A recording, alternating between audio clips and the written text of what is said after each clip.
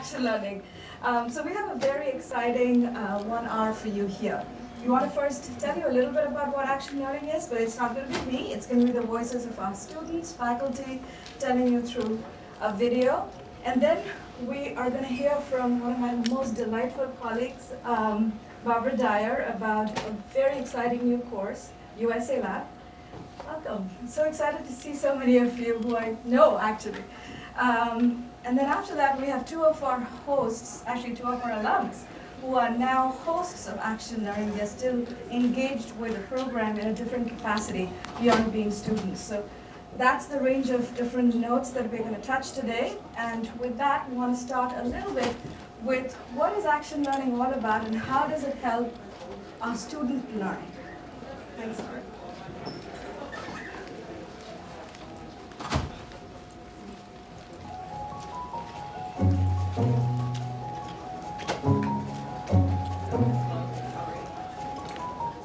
Learning is one of the things that drew me to Sloan. You take what you are taught in a classroom and you apply it into the real world in a real context. It's a group of people who are on the line together to deliver something of value and to support each other's learning.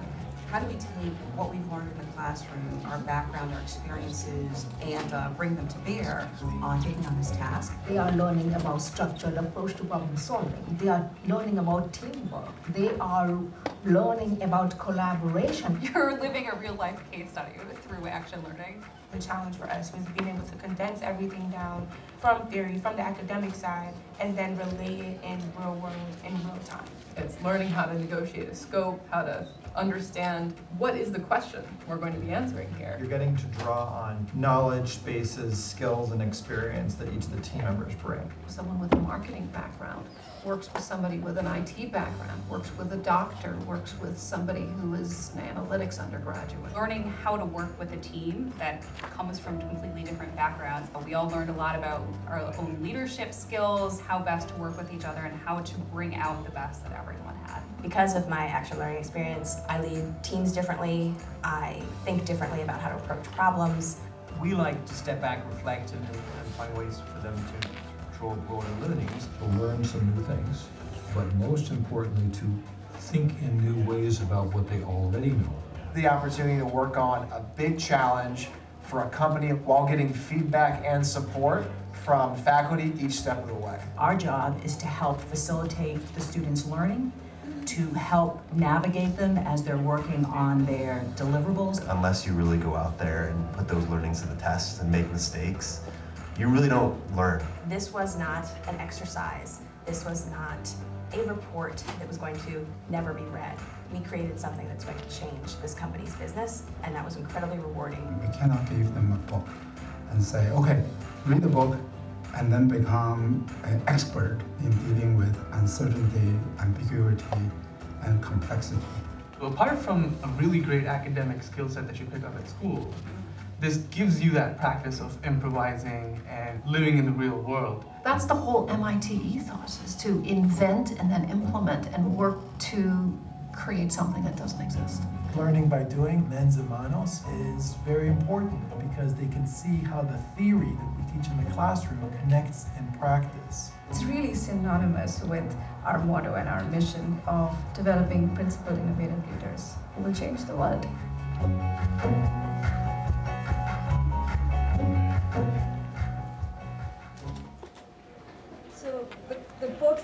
Courses we have, it's about 15 to 20 in a given year. Uh, and one of our newest courses is USA Lab. Um, so it gives me a lot of pleasure to introduce Barb to you very briefly. Barbara Dyer is a senior lecturer and executive director of the Good Companies, Good Jobs initiative at the Sloan School.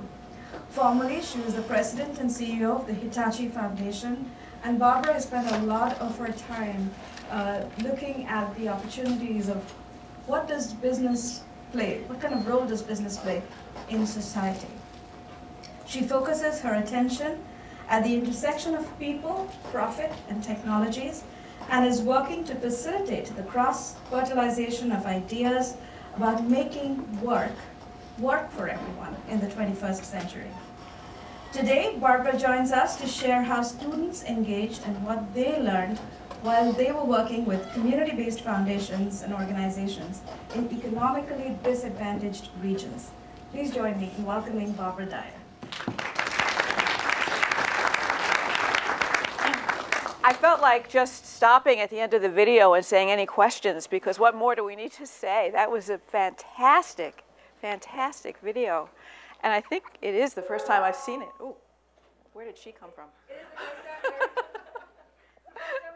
it was just great. It was wonderful.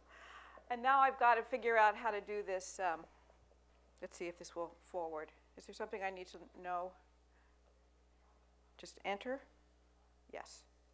Okay. Hi, everyone. We're here. I am delighted to have this opportunity to get to know a li little bit about all of you. I hope you'll have questions, and, and I'll try to make my presentations brief enough just to whet your appetite for a conversation. The Good Companies, Good Jobs initiative is relatively new. It's about a year old.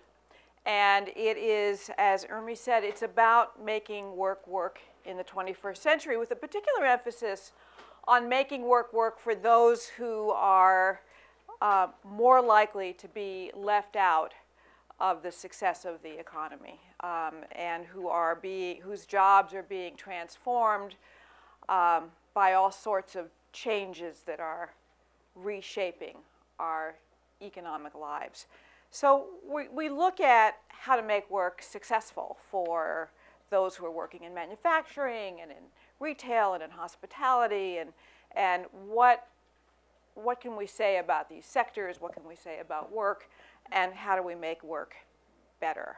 We concentrate at this intersection of people and profits, trying to understand the relationship between good jobs and successful companies we try to build a research base that is very practically oriented, that is looking at what's happening uh, on the factory floor, in the firms themselves, what's happening with people in these places.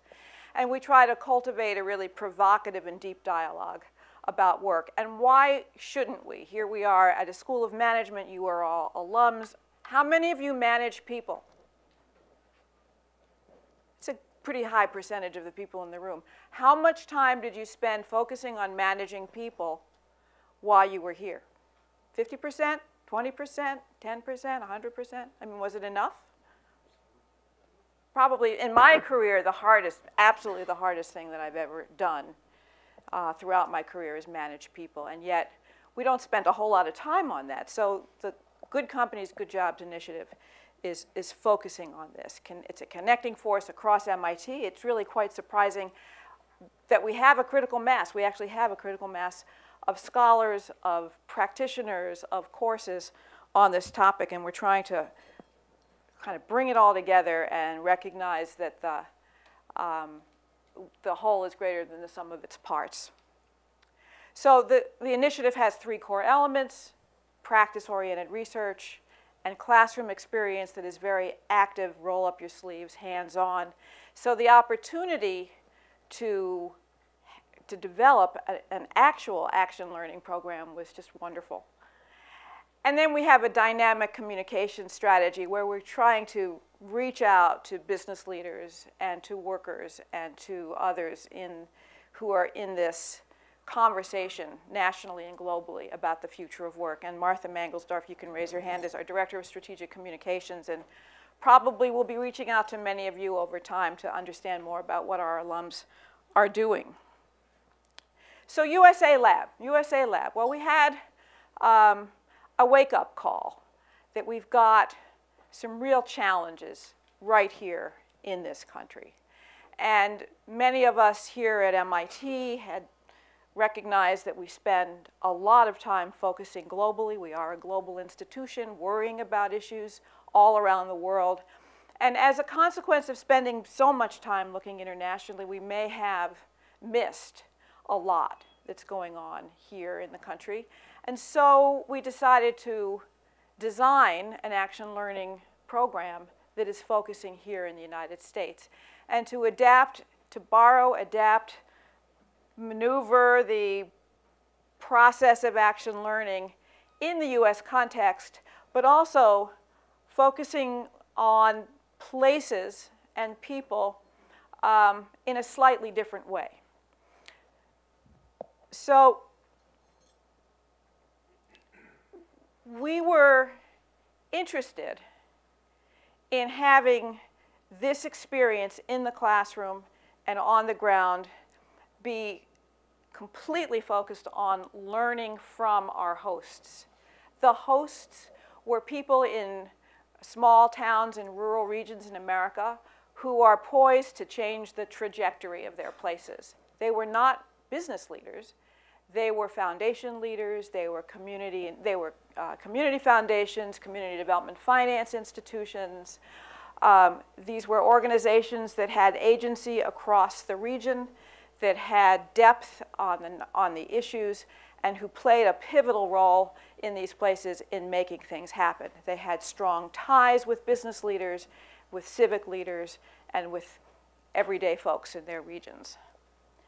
Um, it was designed to enable our students to go out and explore these divides and to go out and understand this country in a different way.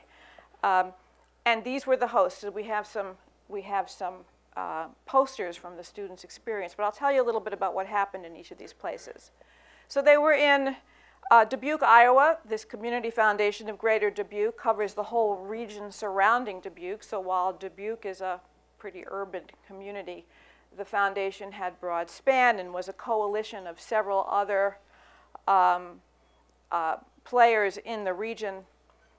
In that region, one of the most significant barriers to work for many people is the lack of availability of quality and affordable childcare.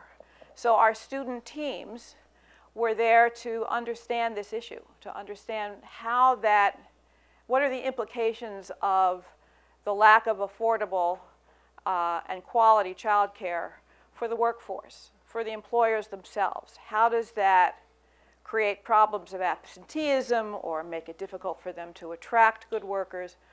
Uh, what's the cost? What's the benefit of trying to figure out a way to generate more, more affordable and high quality child care. So they spent a lot of time with business leaders, with parents, with uh, child care providers, with civic leaders to try to understand this problem in this context, in this place, and its relationship to good jobs and good quality workforce uh, in these companies.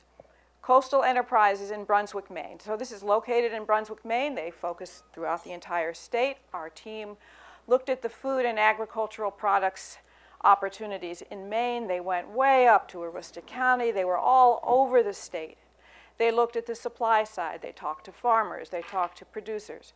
They looked at the demand side. They looked at high-end food, uh, farm-to-table restaurants, as well as distribution of foods, and they looked at regionally. And they came up uh, with a way of understanding what are the constraints and what are the opportunities for building more of a food sector in Maine and they understand it, understood it from a cultural point of view, where the resistant points are. They understood it from uh, a marketing point of view and from just a practical distribution point of view, and came up with some very exciting, viable recommendations for, for working with seaweed and oats and, um, and cottage cheese. And they were just fabulous, and you can probably see some of that here.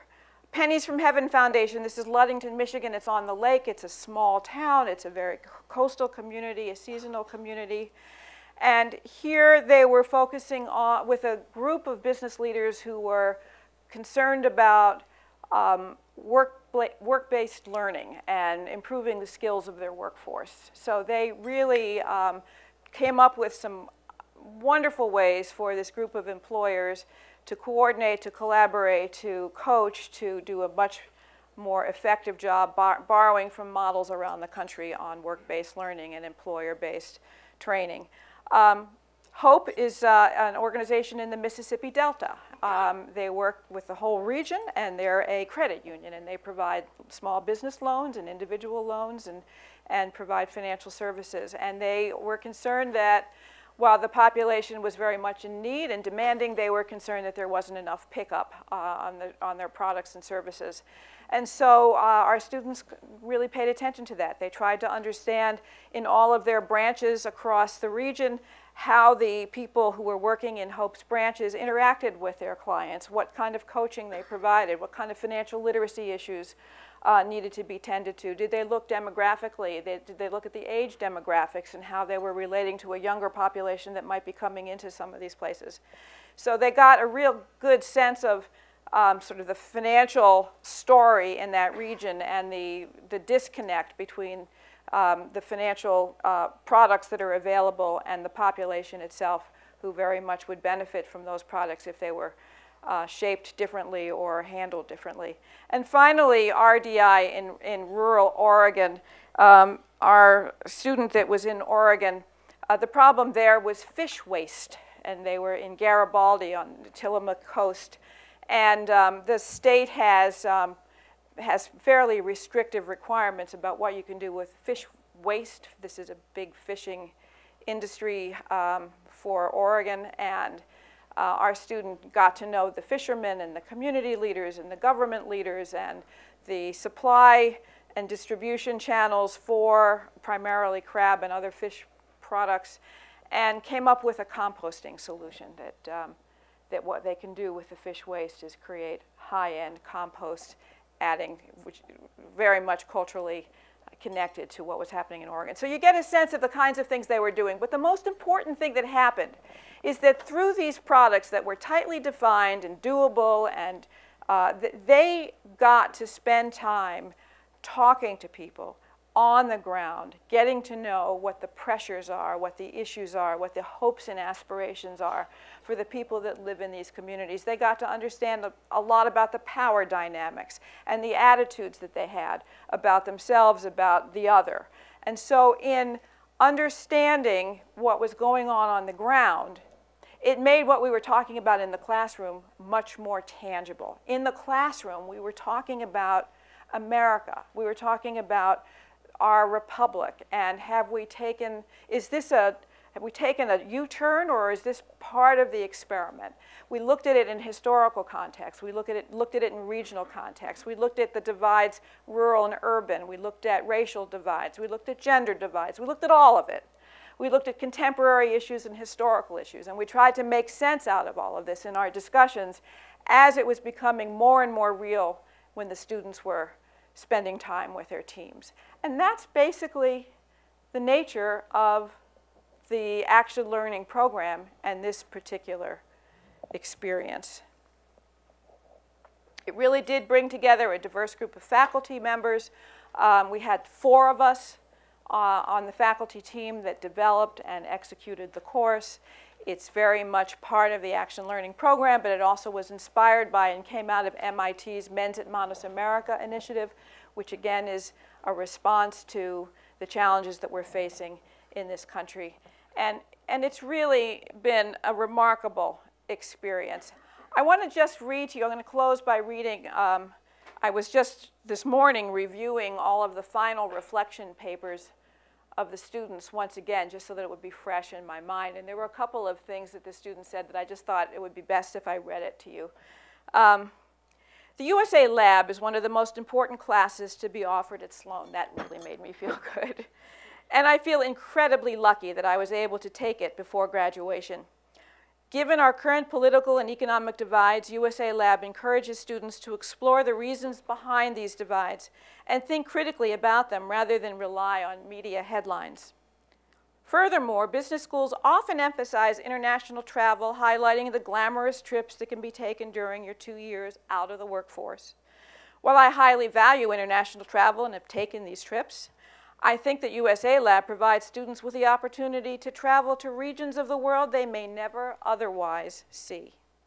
Students travel and have the opportunity to meet with local residents in attempts to understand the local context here in America. And yet one more, a little shorter one. I think we have a tendency to overlook some of the internal issues. I read recently that 51% of Americans struggle to pay for basic needs. This statistic is staggering. But thanks in part to USA Lab, I wasn't surprised. For those of us who want to stay and work in the United States, I think it's important to understand the challenges that we face right here. So with that, I want to encourage you to stay in touch, to visit our website. If any of you are in a place that you think would be a good place for a team of students next year, we are going to do this again. And it's only going to get better as time goes on. So let us know. Give me your business card. Just come up to me afterwards. We also have some handouts to give you a little bit of background uh, on, on the lab experience itself and, and anything more that you'd like to know, just send me an email and, or talk to me now and I'll open for some questions. I think we've got plenty of time. Or I'll ask you some questions if you don't ask me any questions. Yeah. Tell me who you are when you, yeah. My name is Samia Basun. I'm EMBA 17. Oh, there's a mic coming around, sorry. I think. Thank you. My name is Samia Basun. I'm from the class of 17, EMBA. Um, I have my own company in telecommunication called Capwave Technologies. is to bridge the gap of uh, broadband access. Wonderful. However, uh, I'm a small company, a small startup. so I've partnered with other companies. My question is when you, when you discuss hosts, for example, I live in a town now that's getting increasing, increasingly gentrified. 50% of, the, of our town is African American or Latino, and they're being pushed out to the west side of the town like many towns in America. Sure. And it's creating a real economic divide. How, how can this help them? Where, where are you? Asbury Park, New Jersey. Asbury Park, New Jersey. Well, how can this help? So let's just imagine a little bit how it might help. So is there a um, community foundation of Asbury Park, New Jersey? Yeah, there, there are actually many groups, dialogue groups, Uh-huh. center, all, all kind of And is there one in particular that really is, um, seems to have credibility and can pull people together?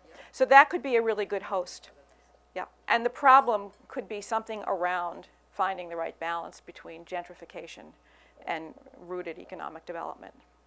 Um, and you could be part of the, the group that would be sponsoring the students. But the main host would most likely, rather than being you, the business, be a, an, an anchor, pivotal organization in that community that can bring the whole community together.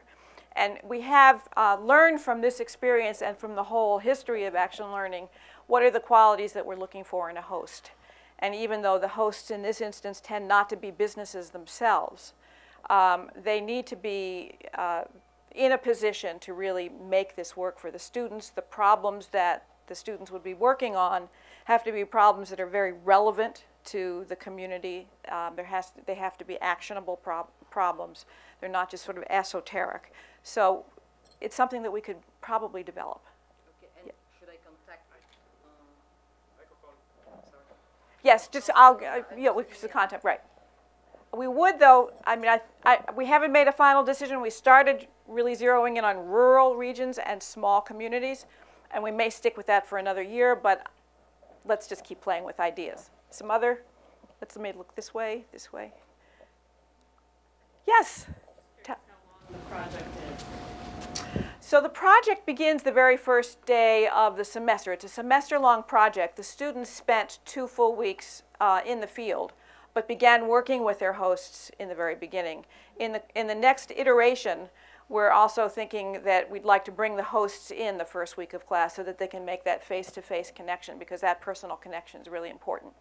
But, um, and we discovered that two weeks seems like a lot of time, but the students so valued that experience, and it really wasn't that much time. So we're struggling with how to make this, the, the, the field work really work. But yeah.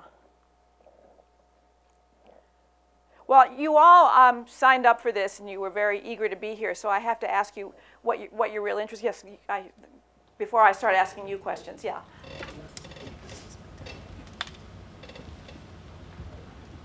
I was wondering if you could uh, just spend a couple more minutes talking about um, kind of looking back on your uh, first iteration here in the USA projects, um, your sense of how you'll define success going forward. Um, I'm also a little puzzled about you know fitting some of these projects that are uh, rather ambitious, um, only because the value is very high, uh, in um, a somewhat artificial uh, time envelope of the term in which you can carry out what you're doing. Um, even when I was a student here at Sloan, uh, many, many decades ago, uh, I, was involved in a lot of seminars or courses that were uh, project oriented, but they were so discrete and focused uh, by the time they were presented to us as opportunities, whereas uh, some of what I hear you talking about here uh, is significantly involved with kind of defining the problem, the players, the interactions, uh, some of the preliminary buy-in that you need just to have uh, the foundation for a successful experience. Yeah. No, this is the, tell, tell us who you are before you let go of the mic. Michael DeMarco, I'm a 50-year guy. Yay, good for you. Yay. All right. So, so your question is a really good one, and it's one that we struggle with. So, um, all of these hosts had discrete projects. And so the students were actually quite successful because the projects were narrowly defined, very specific, and there was a beginning, middle, and an end that they could do in the course of a semester. Um, and the hosts would all like to continue and build on the first year. So the next year's project will be something related to the first year's project, and they'll be even better at kind of calibrating how far they can go. So I think among the hosts that were the, our pioneers, um, I think we'll have even a better sense. Uh, they'll have a better sense about how to make it work. But we were really surprised at how successful it was. Now, the thing, the, the challenge is that we didn't want um, the course to be the be all and end all to be this rare, somewhat narrowly defined project. We, we wanted the project to be uh, a way to open the window on what's really going on. So it, we had to find the right balance between it being big and all encompassing and it being um, very concise and actionable. So I think we were successful, but it was more by chance that we were successful. But I think now we can be more deliberate about it. But it is really tough because we don't want, and some of the labs, it's all about the project. And in this lab, it's really all about opening our eyes to America and then making a contribution in the process and having the project be a vehicle for learning. So it's, it's a tough balance, but you, you, you nailed it. That is a challenge for us. Yes.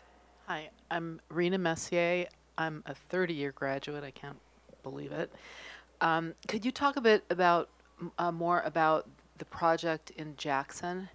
So was it really just to sort of segment who their customer population is or could be, or uh, did they have um, a specific objective about increasing their lending or certain kinds Yeah, of yeah, product- so the- products, or what the was it? Hope Credit Union um, wanted to have more consumer take-up of their products. And they were wondering what was going wrong. Why, why weren't they connecting with the population in the Mississippi Delta? And um, so part of the question was, do the products actually meet what people who are living in the, the sort of financial products, do they meet what the people in the Mississippi Delta would use, would like to use? They did an analysis of um, the students, and, and I think based on data that Hope already clearly had, um, how the pickup of various products in various parts of the Mississippi Delta region, the rural or the more urban regions, what the consumers were utilizing and why and how. Um, they also understood from an age point of view that in some, some of the smaller towns in that region were actually on the, on the move. They were kind of coming back and younger people were coming back in, whereas others, there was a big drain of people coming out, but the products didn't meet um, the demands of, say, the millennials that are moving in. So, the, so part of it was, um, and, and a lot of it is coaching on financial literacy. This is a this is a nonprofit community development finance corporation and credit union, and they're interested in economic development for low-income people. So these weren't just to get products out the door; they were products with a purpose. And so part of it was the coaching style and the, the ways in which the, the various um, people who were interacting with the clients who were part of the credit union did their coaching. And so that's kind of what our team looked at.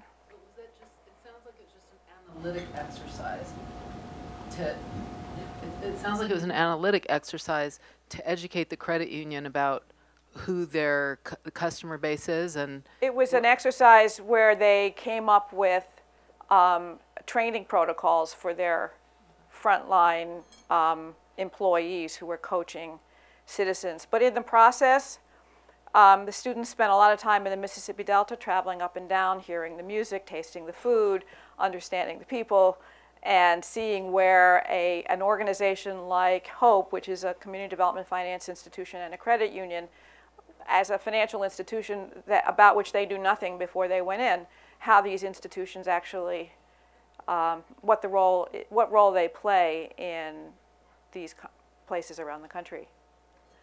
Yes. My question is uh, somewhat related to uh, that of the 50-year gentleman over there. Mhm. Um, are there any lessons learned out of these, coming out of these projects and hopefully future projects that you see as then being able to be translated or being brought to a higher level of policy, systemic policy solutions or um, you know, I think of what the Poverty Action Lab does a lot, and I think, well, is there a link from these discrete, targeted, geographically uh, projects and uh, to uh, bigger lessons? I guess I'd like to say the answer is emphatically yes. And I come, uh, the, the part of my background that hasn't been mentioned is my, most of my career has been in public policy. So I, I would love to be able to say I see some real policy solutions. What, in listening to the students at the end of their experience, which to me was one of the most valuable lessons, they said things like, we realize that rural is not just rural. There's, there's all sorts of flavors. That the Mississippi Delta is very different than Garibaldi. And that people across all of these places have the same hopes and aspirations for themselves and their families and their children, but we don't know how to cross those bridges and understand the differences and the similarities and have these conversations. And they were, their eyes were opened in a way that I hoped would happen, but I couldn't imagine it would happen to that extent. And and this sounds really trite, and we keep hearing it though over and over that we've sort of lost the ability to just open our eyes and go places and listen to people. And I don't know if there's a policy that we could manufacture that would make that happen. So I think that these, you know, project by project and place by place, we might begin to see things, you know, sort of, you know, well, so what, what are there some reasonable policies that we some insights about the unbanked population and the role of credit unions. Sure, we could come up with something like that. Or, you know, the effect of the policy that is making it so difficult to deal with fish waste and the positive outcome of that, and is there a way of rethinking that at a state level? But I, I you know, I don't know. Yes, you had a question, and I guess we need to stop. I guess, yes, one more question, and then I have, the hook comes out and I'm done. Uh, I'm sorry, you said you're? I'm Frances, and I'm here for my 15-year reunion. Um, I was really interested in, in the insights because it sounds like the genesis of the program is to find out what's really going on. And in this age of polarization, I'd love to hear more about the way students change, like what preconceptions they may have had and what they told you they found out when they really went into these communities. It's a really good question. And we spent a lot of time in the beginning asking them what their assumptions are you know, what, what do you think of this place? And, and, and what, how do you think of, we talked about issues around place and home and, and culture and, um, and some of them just had some fairly simple, that we all have, sort of simplistic and stereotypical views of, of rural, you know, rural America. And it was all kind of the same and it was out there and it was different. Um, so I'd say that the, the biggest difference is what I said a minute ago, which is that they realized the texture in this tapestry that we call America, and that um, there's something very exciting about it, And there's a lot of opportunity out there, but there's a tremendous amount of despair as well, and that we kind of turn our backs on it as a nation in a sense that um, we don't really know what to do with it. But um, I'd say the biggest change is the recognizing how textured it is and how much variety there is.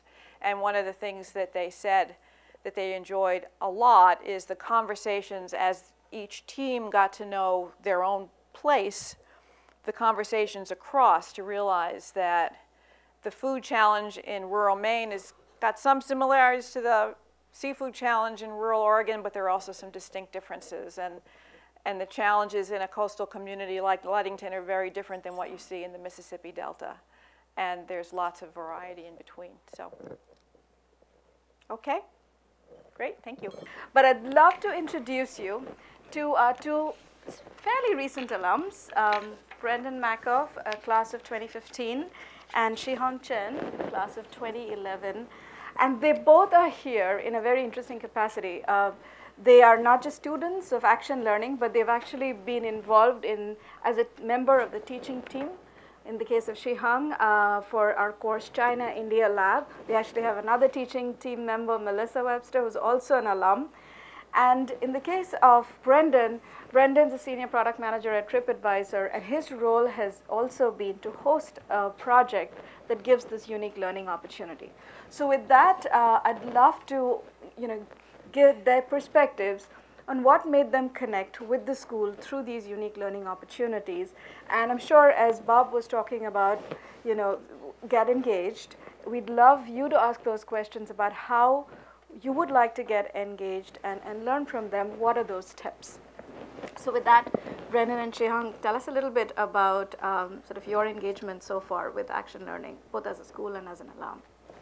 Yeah, so I'd say that uh, practical learning in general was probably the main reason that I chose Sloan as a business school.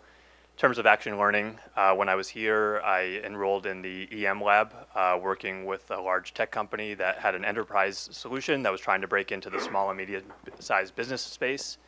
And then also with G-Lab, uh, with a sort of software, hardware uh, tech company in Sao Paulo that was having some difficulty with its sales practices. Uh, on top of that, I also did an independent study with a tech company a little bit north of Boston and built a business plan as part of New Enterprises. So sort of that action practical experience was really, really valuable for me as a student, both developing my skill set and sort of giving me some relevant stuff to talk about when I was interviewing. Uh, then I, after graduation, uh, TripAdvisor had a specialized rotational program for product management.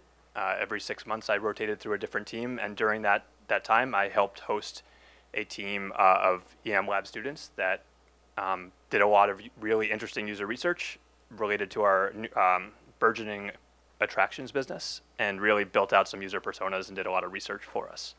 I can go into that a little bit more later. Sure, and uh, my perspective is, is sort of strange as well. I mean, first starting out as a student, and then actually as a host, and now actually as, as part of sourcing the uh, projects and as part of the China Lab teaching team. Uh, while I was a student here, I, I guess uh, honestly, my, my understanding of action learning was actually very rudimentary. They're treating it very much as like, a, like sort of on the job, you know, sort of in the field type of type of work.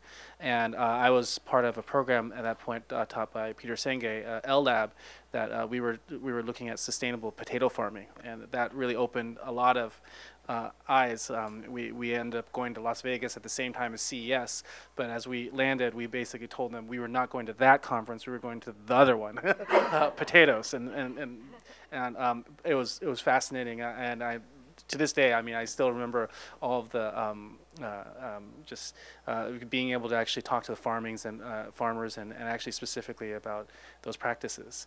Um, afterwards, um, I uh, then moved to China. Um, or moved back to China. I've lived in China and worked in China for, for many, many years, nearly 15 years now, even though I grew up in Seattle. Um, and uh, at that point, uh, you know, Sloan would like wanted some help with actually sourcing projects in, in China. And at that point, I sort of uh, got involved with sourcing projects. And now I think it's been the fifth year of sourcing um, sort of the 20 some projects in China. So I think I was talking to Urmi earlier, now had the opportunity to see over the course of the five years nearly 100 or so projects um, and 100 or so you know host companies and um, across across the the multiple areas that we actually are doing projects in China, Beijing, Shanghai, Guang, uh, Guangzhou, as well as um, uh, Kunming. Um, and through that process, I've also, you know, I've myself, uh, I have a startup, and so we also hosted um, a China Lab uh, project ourselves, and so that's that was also a sort of third perspective, and it actually helped actually increase sort of my understanding of, of action learning, um, and so it's sort of I guess three perspectives, um, both as you know student, host, and then sort of I guess back staff, um, and it's sort of really opened my eyes to to sort of the value of action learning. We talk when we talk about action learning, we talk about constituents. We say students, alums, host organizations, faculty and staff members, and you've been all of them, in, in, in, you've played all of those roles. So tell us a little bit, as we were talking about, over 100 projects. You, you've been a part of those engagements in, in some form or the other. What makes a good host to one of your earlier stories? I mean, what, what uh, your questions? What is, what is a good host? So I, I, think one of the understandings as, as I go out and now I'm, in some sense I'm pitching for for uh, for MIT Sloan's um, you know action learning and sort of and, and to sort of try to understand a little more about uh, action learning and, and just entire pedagogy uh, behind action learning. I, I, think you know one question you know which the gentleman answered is I mean asked is I mean uh, and this is something I've talked to many other academics actually in China, like what is action learning? How do you define it? And is, is, is it just, I mean, what is a good project? Is the project very canned?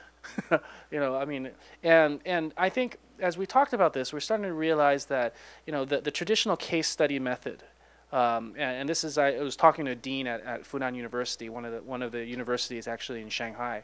Um, the discussion was, was about you know sort of what business business education and management education what, what, what it's like and while there's a lot of focus you know traditionally on the case study uh, method the case study method is, is actually very very packaged. All the information has been distilled into a into a very clear you know um, you know analysis and you're supposed to go through this process and get an analysis.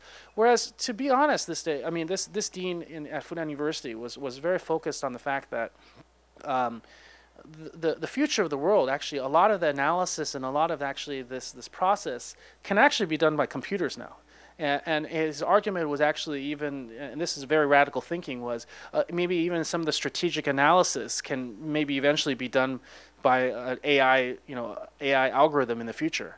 And so the, the question then comes into is, is uh, I mean, I've noticed this throughout my own career, um, is, is actually the key is that what is the question? you know, that you need to ask. And and a lot of times, if in a case study, you just that's sort of already done for you, right? But but that's actually the key is like how you define the question, who are your stakeholders, and and and you know how to you know, uh, you know what it is. And a lot of times, once you sort of ask what is the question, then you start to sort of drive at the answer. But even without asking the question, if you're asking the wrong questions, you you end up with the wrong wrong wrong, wrong answers.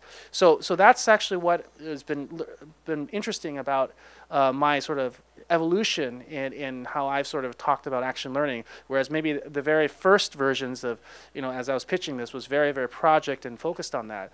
The, the other thing that I've noticed uh, when, when I'm working with hosts in China, um, they, they actually, it's, it's actually not a one-way learning. A lot of times we've, you know, if you look at the, you know, the discussion, I mean, or even the video, it's actually very focused on what the students gain.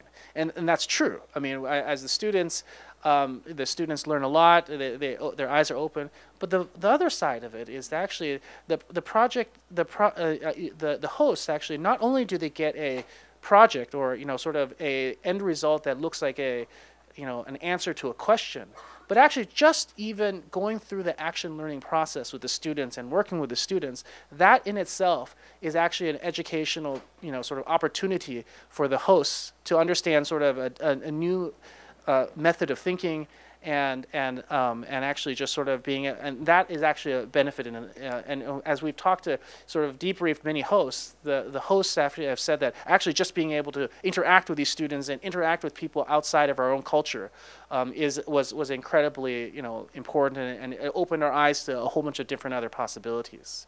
So um, I think to go, I mean, you know, I, I've sort of digressed a little about the the, que- the question that Urmi asked, but mostly just because I think it, was important in my own evolution of action learning, and I think that action learning as a sort of a pedagogy is is continued to be pioneered here. I think at at, at Sloan, and I think you know we're, we are, I think we're pushing a lot of it, especially when um, looking at China and looking at sort of all what what the sort of the market is. You know, especially since I'm I have to go source these projects, and and, and some of the companies are oh yeah we do we do projects, and it's like well actually uh, you don't the way we we do the projects, and I think that's a that's a really important key.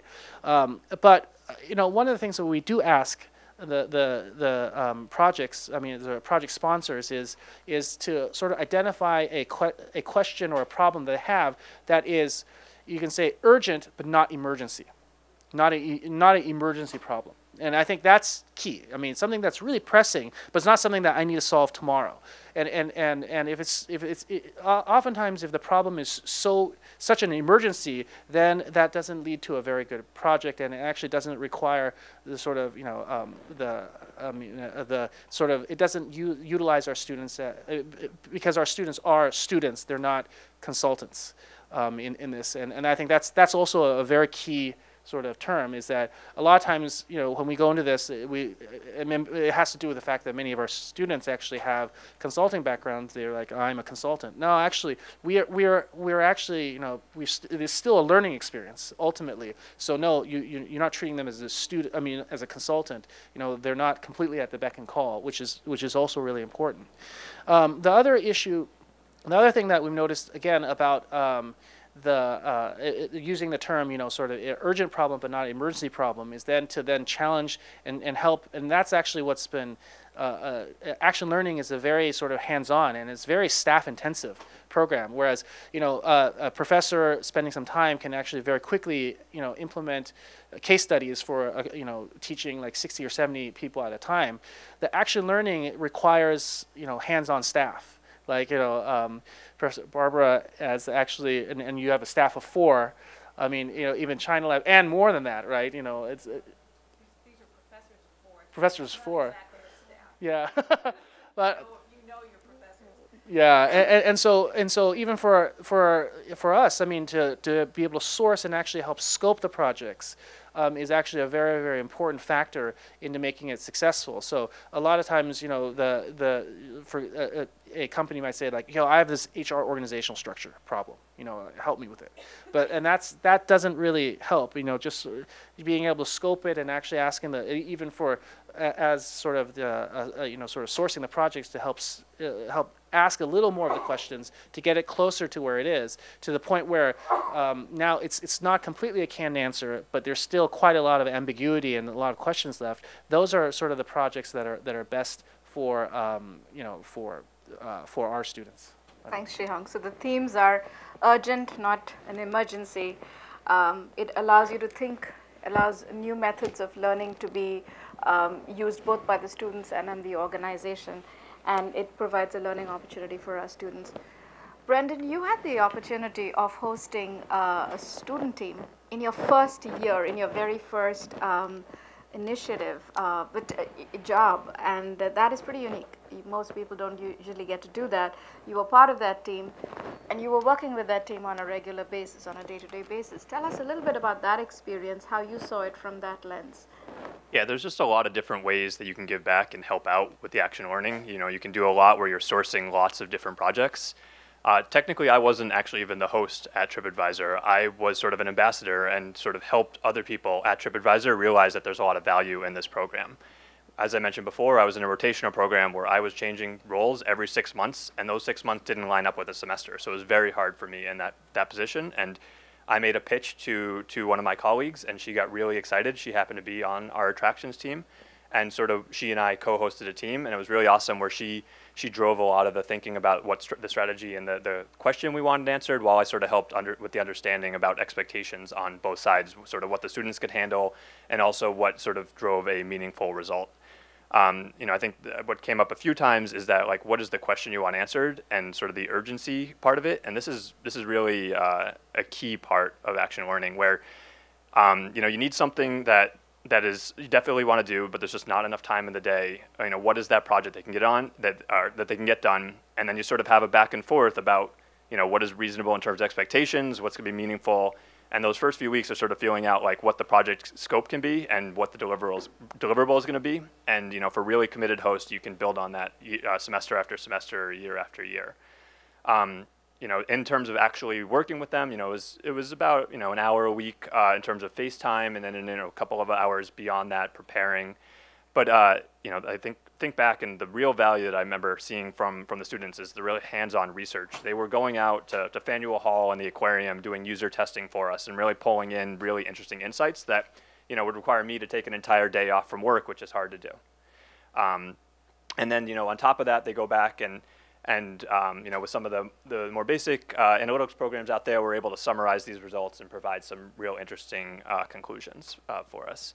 Um, you know, in the end, it was, it was a really cool experience. Uh, now that I'm out of the rotational program, I'm looking forward to potentially hosting my own team. And, uh, you know, I think, as I mentioned before, with EM Lab and G Lab, these are more on the marketing strategy side of, uh, of sort of the action learning offerings.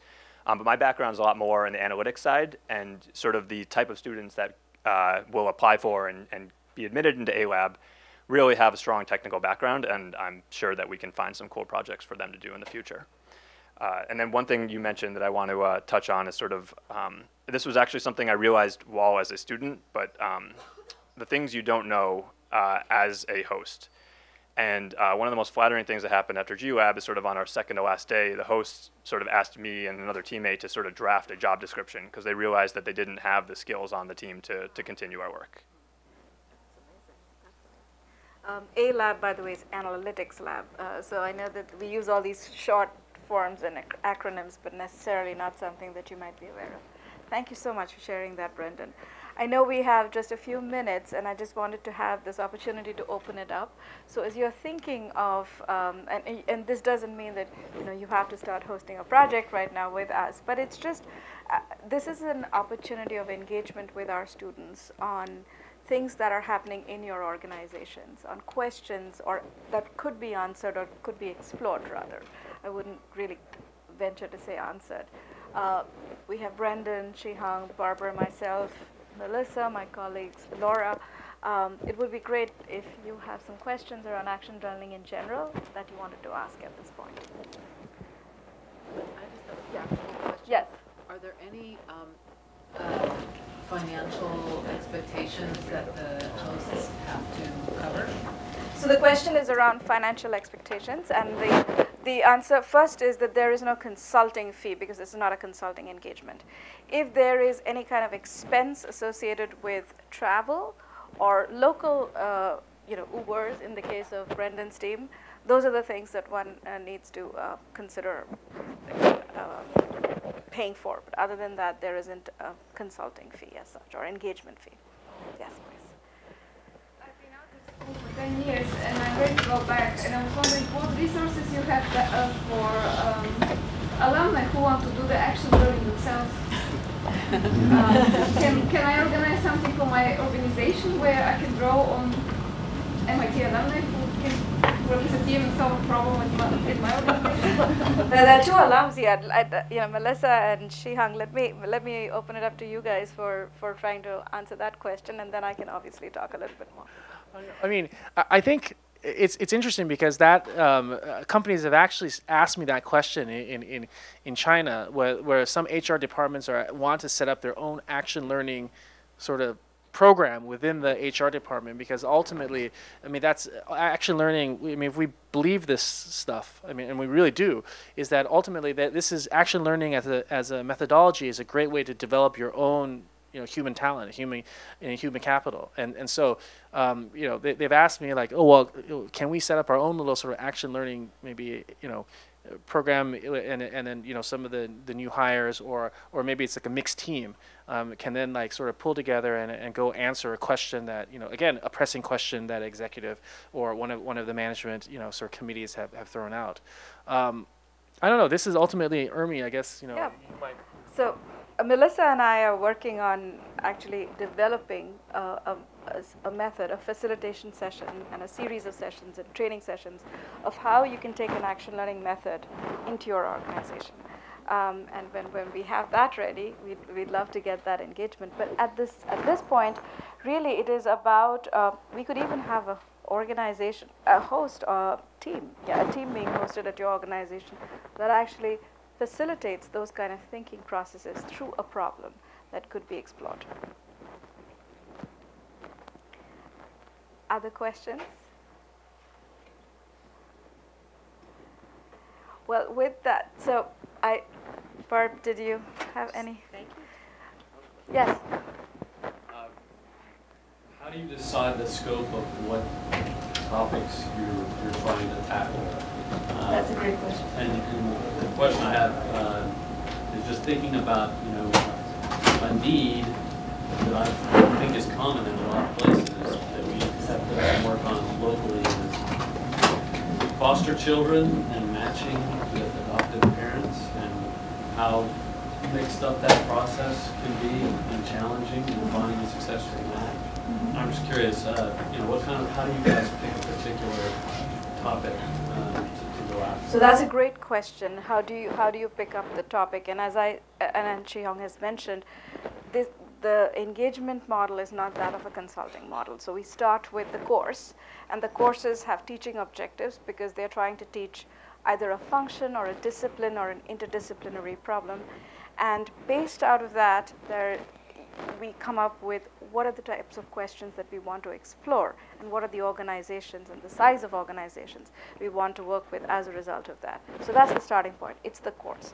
Um, so, but for something like what you are talking about, um, it could be looked at at various lenses. It could be looked at with an operations lens, and actually there is a course around that um, that works on that. It could also be looked at with a course that uh, thinks about put all your you know management education of one or two years and then go and work with a local nonprofit in um, over a couple of weeks and look at a very narrow specific problem but, but try to help them with that. And that course is very differently designed. It's for the executive uh, MBA uh, students. And we could it, it could fit into that purview as well so it depends a little bit on the how, how the question is being asked and how the question is being explored. But the starting point is, uh, is the course and what the course objectives are. Is that captured? So with that, uh, I really want to thank Barb, Shih-Hung, and Brendan for being part of the conversation today that engages students into the real world. And we hope that you get, got a little bit of that glimpse about what action learning is, how our students are being taught in this very signature, deliberate, pedagogical approach that MIT um, fosters. Thank you so much for your time.